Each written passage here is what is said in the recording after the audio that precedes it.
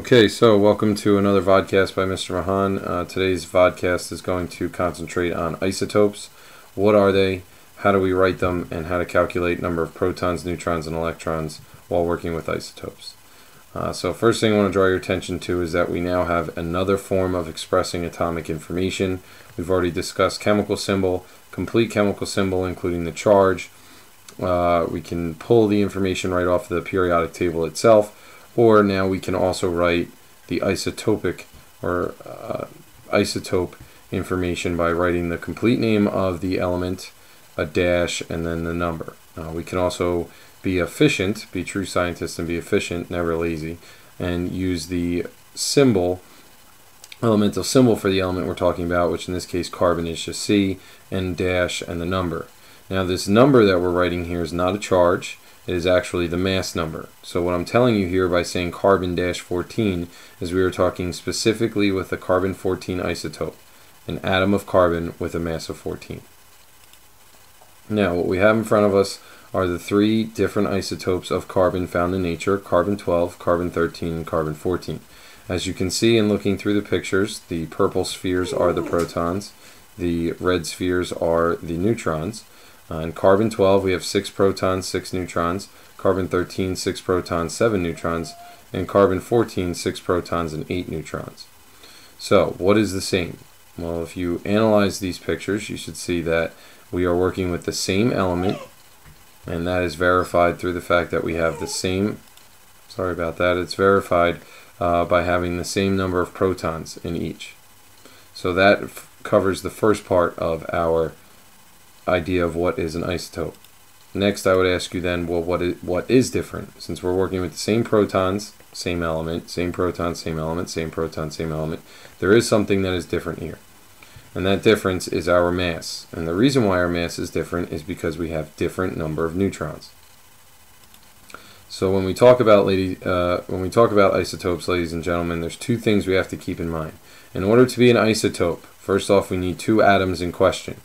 Secondly, they need to have the same number of protons, therefore the same element, such as carbon, carbon, and carbon, and they must also have different number of neutrons, therefore having a different mass. Different mass, different mass, different mass. Okay. Ultimately, what we're talking about is we're talking about different forms of the same element. For instance, if you were to go to an orchard and pick apples, you may pick all Granny Smith apples. That would be our element type. But are is every single Granny Smith apple that you pick going to be the same size, the same weight? Not so much. So that would be an example of isotopes. Now, let's say, for instance, you were given chemical symbols of chlorine and chlorine. And let's say you got into an argument with somebody about whether these are isotopes or not. The way that we can prove that these are in fact isotopes is the fact that one, they do have the same atomic number, aka same number of protons, so they are the same element. Do they follow rule number two? Do they have different atomic masses? Well, this guy has a mass of 35. This guy has a mass of 37. Therefore, yes, they are isotopes because one, they have the same number of protons, and two, they have different masses. With that in mind, if we were to write our isotopes this way, again, these two are as well examples of isotopes. Carbon and carbon, different masses. That brings into question something like this. Would these guys be considered isotopes? Well, they have the first thing going for them. They are, in fact, both carbon. However, they are the same mass. So these are not isotopes, these are clones. These are the exact same atom. So it is both carbon, so they have the same number of protons, but since it has the same mass, it has the same number of neutrons, and therefore we cannot classify them as isotopes. If we were to look at this array of different make-believe elements, if you will. The only ones that could actually end up being isotopes of each other are this XX and this XX, XX15 and XX16, or this XX15 and this XX16. Remember, they need to have the same number of protons, same atomic number, same element, different mass. XX15 and XX15 are not isotopes of each other, but they are isotopes of XX16. The YY, ZZ, and WW do not come into play here because they are not the same element. Therefore, they do not follow the first rule. If we were to do a similar example or similar similar exercise with real elements, or written a different way, actually these are fake elements.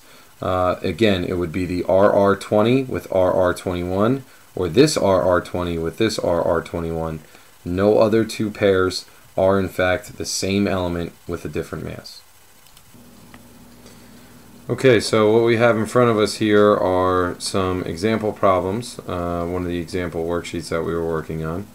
Um, and so the first thing we're going to look at is problem number six. Okay, so we're going to try problem number six here together. Uh, first thing it says is the number of protons in Mg24.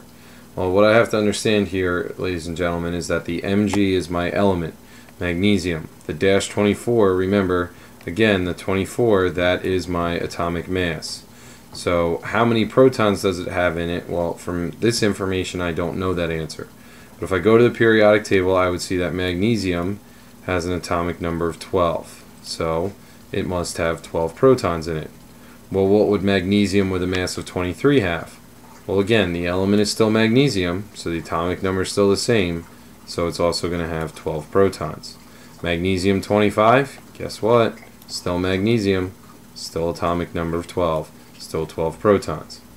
Now, when we get to the actual neutrons, that's when we can actually start to have a couple questions here. Okay, so number 7 here, when we talk about neutrons, now, this is where we have to realize that the way we calculate neutrons is by saying that the mass, which again in this case is going to be 24, is protons plus neutrons. So if my mass is 24 and 12 of that mass is taken up by protons, that must mean 24 minus 12, I must have 12 neutrons in my nucleus. For magnesium 23, I have a mass of 23. 12 of those mass are taken up by protons. So 23 minus 12 means that I actually now have 9 neutrons in my nucleus. Last one we're looking at here, magnesium 25. Magnesium 25, again, it's magnesium, so it has a atomic number of 12. But since I have a mass of 25, 25 minus 12 gives me my neutrons, which in this case would be 13. Now, if we think about our answers for 6 and 7 here, let's be human beings, not machines. The fact that my protons are the same for magnesium 24, 23, and 25 should come as no surprise because remember, rule number one of isotopes is that my protons must be the same. The fact that my neutrons are different should also not come as a surprise because my mass is different. Again, mass is protons plus neutrons. So since my mass is different and protons are the same, my neutrons must be different. And remember, that's rule two of the isotopes. My protons must be similar, but neutrons must be different. How would I find my number of electrons? Well, when we write it like this, we do not have a charge. Therefore, if I am neutral, that does not mean that I have no electrons. That means that my electrons and my protons are equal. So if I have 12 pluses, 12 protons, I must have 12 minuses, 12 electrons. If I have 12 protons in magnesium 23, must have 12 minuses, 12 electrons in magnesium 23. If I have 12 protons in magnesium 25, must have 12 electrons in magnesium 25. What's my mass number? Well, again, remember, guys, when we write it this way, the mass number is just these numbers. So my mass number of magnesium 24 is 24. I apologize that these numbers are very ugly as I'm trying to do this with a mouse. So my magnesium 23 has a mass number of 23 and my magnesium 25 has a mass number of 25. The atomic number, remember atomic number is number of protons. That's what I went to the periodic table to find out and since it's magnesium, my atomic number is 12 for all three. Okay. We did problems 11 through 15 in class, so you should have the answers for them, and I did explain them in class. I hope that this video has helped you further understand what exactly is an isotope. Two atoms of the same element, so they have the same number of protons, that have a different mass, so they have a different number of neutrons. I also hope that this video has helped you understand how to solve these type of problems a little bit better, how to find protons, neutrons, electrons, and identify the mass number and the atomic number. Thank you for watching, and as always, please email me at pmahan at frhsd if you have any other questions about this topic. Thank you.